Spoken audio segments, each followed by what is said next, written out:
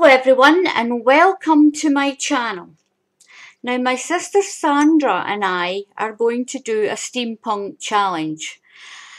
So we both have one of these and Sandra's challenge to me is she loves steampunk items and I have to steampunk this one and she's going to steampunk hers.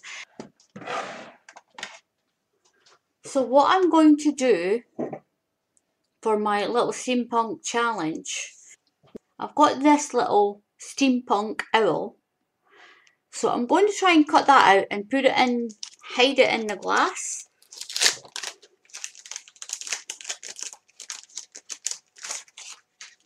Now I don't know if it'll work or not, but it's it's worth giving it a little try.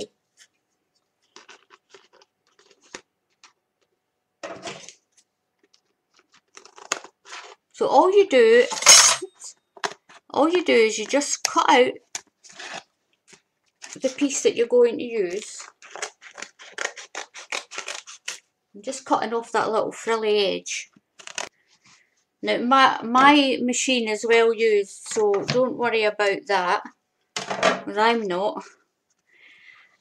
Now I'm going to put it glitter side down. Now you do have a very smooth side because this is a piece that was stuck to the plastic. And then you've got your glitter side that's nice and glittery as you can see. So I'm going to put that face down like this. Then I'm going to put my little owl on.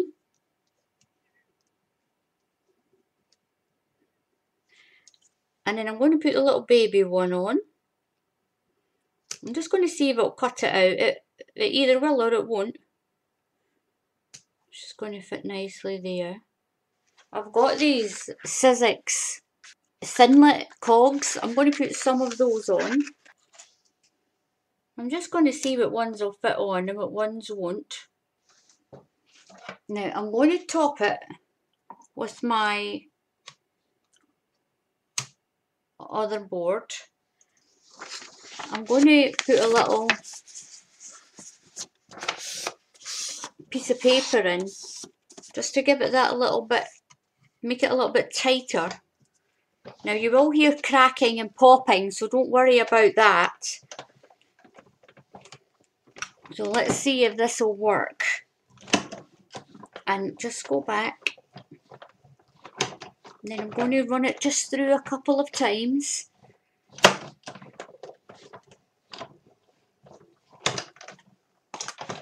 So I'll just take my little shim off.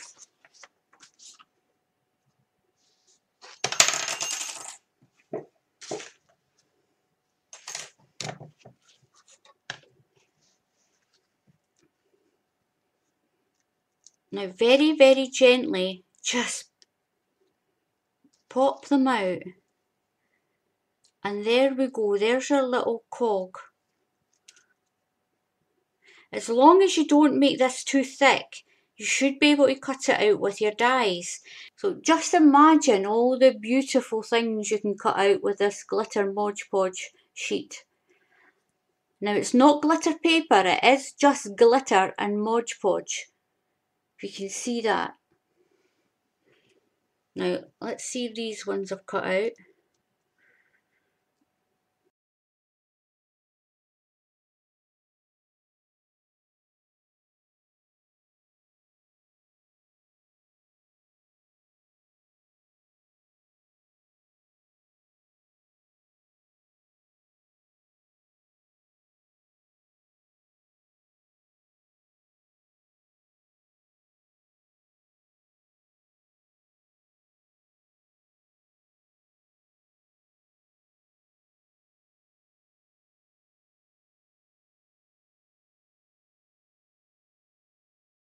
So I've got myself an elastic band. So The elastic band is going to give me a nice clean edge when I put my Mod Podge on. I want to keep a rim so that you can drink out of the glass and I'm going to put my little steampunk owl here so you can see him when you take a drink out of the glass. Got some tacky glue Now tacky glue dries clear. So what I'm going to do is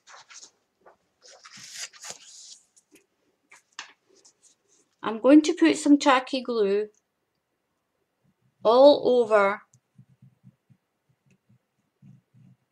my little owl just to make them stick to the glass.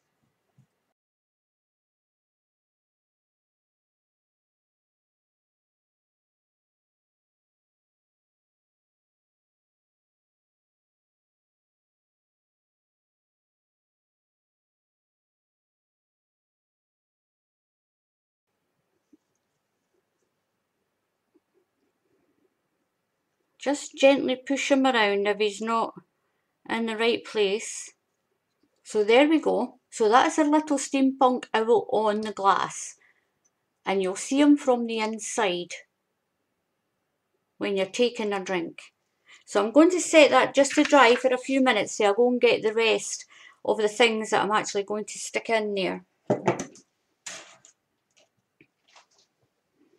Now here's the other little pieces of cogs and things that I'm going to stick in beside this little owl.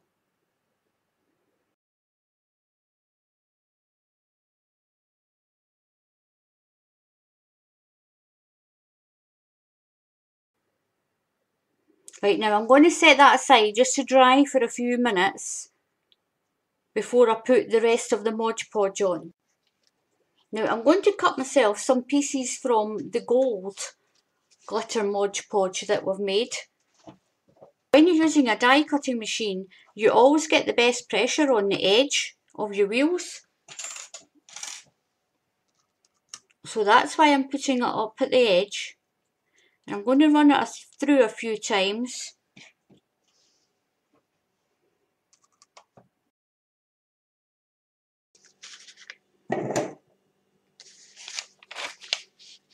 Going to fit my cutting plate here. Try not to move any of these dies.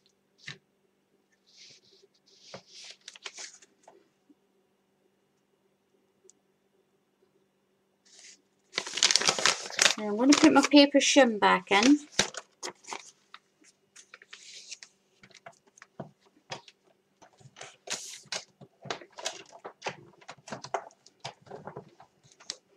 So we're just going to give it a little few turns through this machine just to make sure that we can get it cut right through.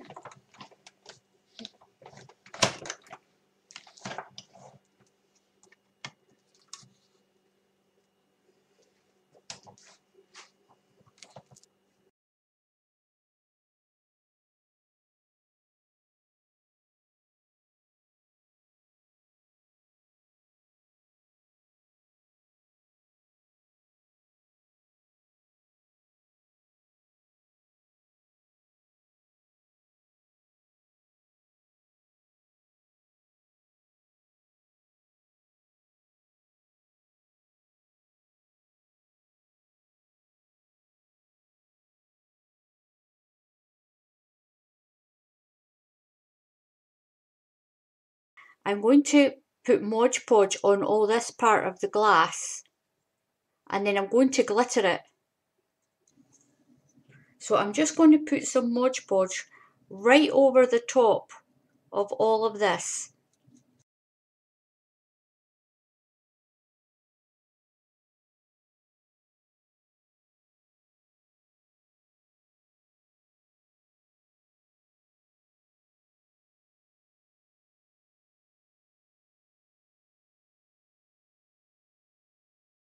I've got myself a big tub here and I've got my glue, my glitter. Now I buy my glitter from Victoria Street but just look on eBay or Amazon. Now this one is brass. It's holographic. I'll only ever use holographic fine, ultra fine glitter.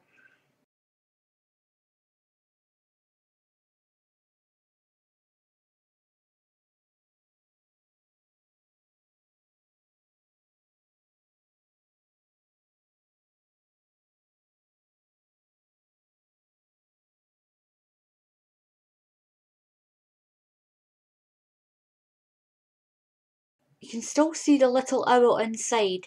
Now, the Mod Podge will dry clear, so we will see that little red owl in there once the gold dries in. And then that's a little goblet. So I'm going to set it aside to dry for a few hours. It needs at least two hours or so to dry. Now I've had a little bit of a filming disaster.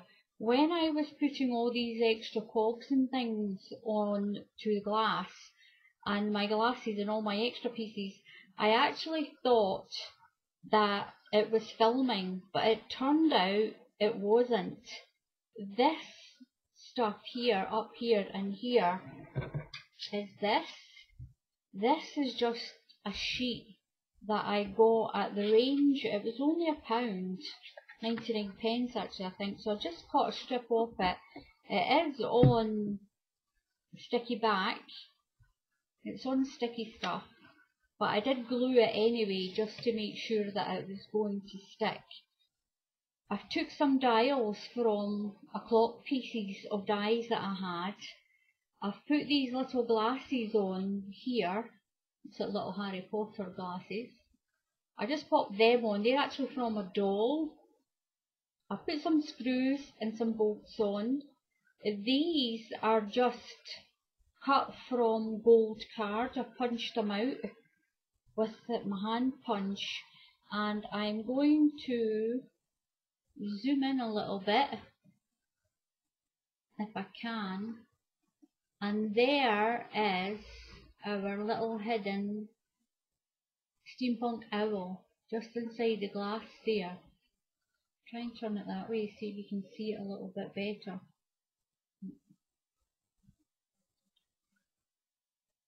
So that's that just hidden inside the glass there and when you take a drink you'll be able to see that. On the back I put another little owl and I put some more dials and some more pieces of cogs that's in here. You can see those. If anyone wants to know how to make the glitter sheets, if they just leave a little comment, then I can easily do a little tutorial for that. Thank you all for watching.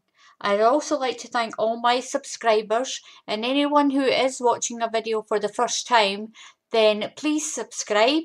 I would appreciate it. And then you'll get a little notification of any new projects that I do. Please feel free to leave a comment. Any questions you want answered, I will answer them. And if there's any other tutorials that you would actually like to see that I maybe haven't tried, then just drop me a little comment and I'll see what I can do. See you all again next time. Now here is Sandra's steampunk glass. These are some of the items that she used she painted her glass and then she just popped on all her little items. Now here's a little video. It was filmed with her phone, but I think it's an absolutely fantastic glass. And I think we both did a fantastic effort for our very first steampunk glasses. So please feel free to leave your comments. Bye.